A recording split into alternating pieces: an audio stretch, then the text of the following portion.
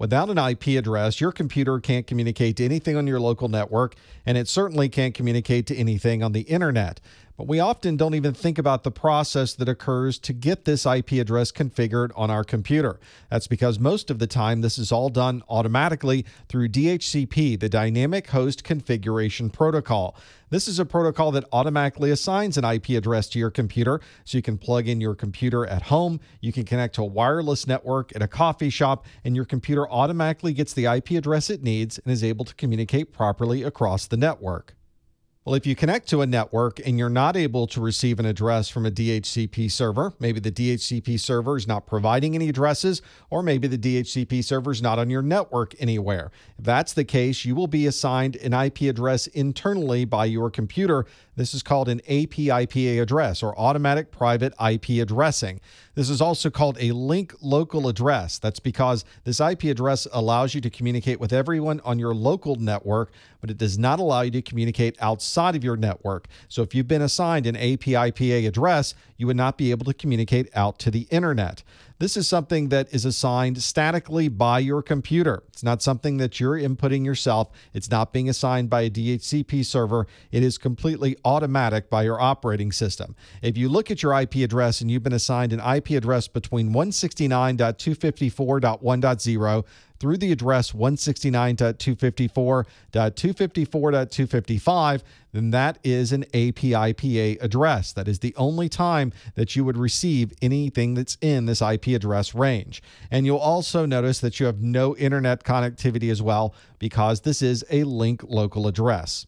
Another option that you have for IP addressing is a static address. With a static address, you're not relying on a DHCP server to provide an automatic address. You're not having your operating system assign an APIPA address. Instead, you are assigning everything manually. You are statically putting in the IP address of your computer, the subnet mask, and any other details you need to be able to communicate on this network. Your network administrator will be the one to provide you with all of the details of what you need to assign manually when you statically assign an IP address. But generally, we don't even do any static IP addressing. Everything is done through DHCP so that everything is automated when you connect to the network. One of the reasons we like to perform this process automatically is there are a lot of details in the IP addressing. For example, you'll need first an IP address. This is a very unique address that's assigned to your device. This also includes a subnet mask. This is going to help you identify what subnet your computer belongs to.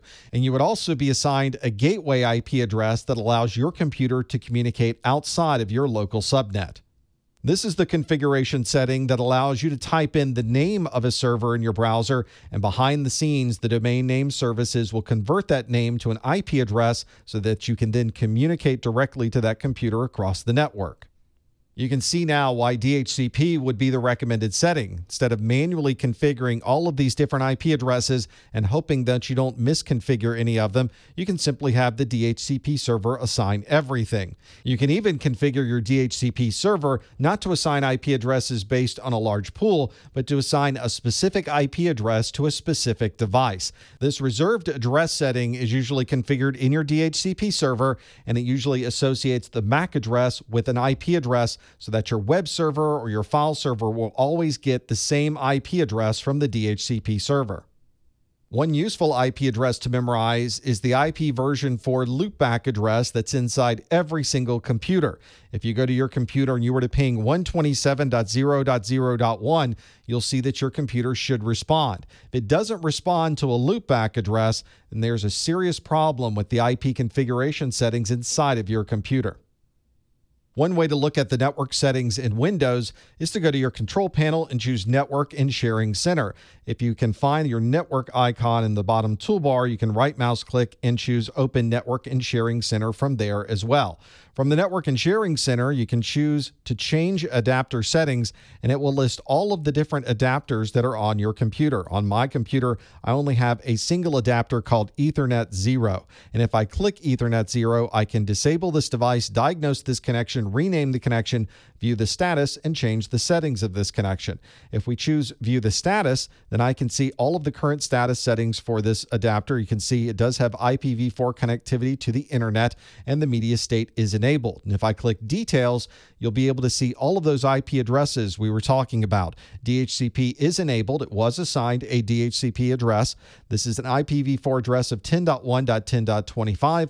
I can see that my subnet mask is 255.255.255.0. My default gateway is 10.1.10.1, and my DNS servers are 8.8.8.8 and 8.8.4.4. That's a lot of IP addresses, and you can see now why DHCP is so useful. It's able to configure all of these instantly when I start my computer. You can also view all of this information at the command line. I'm in Windows 8, so I'll hit my Windows button and type in CMD and hit enter. From the command line view, we can type ipconfig and get details about each one of the adapters in my computer. Here's my Ethernet adapter, Ethernet 0, and you can see IP address, subnet mask, and default gateway information. If you also wanted to see more details about this adapter, we can use that same ipconfig command with a slash all. This will list out many more details about this adapter. We can now see MAC addresses, we can see details about which DHCP server assigned this address, and we can see DNS server information in here as well.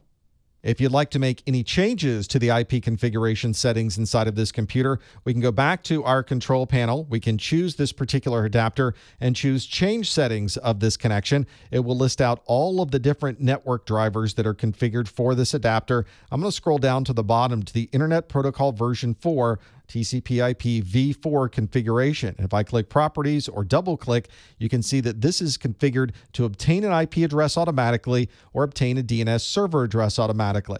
Maybe we would like to configure an IP address manually. So instead of choosing Obtain an IP address automatically, I'll click the Use the following IP address radio button and I'll add my own IP addresses into this configuration. So I might want to add the IP address, subnet mask, and default gateway, and then you have the option to also add DNS server information manually as well.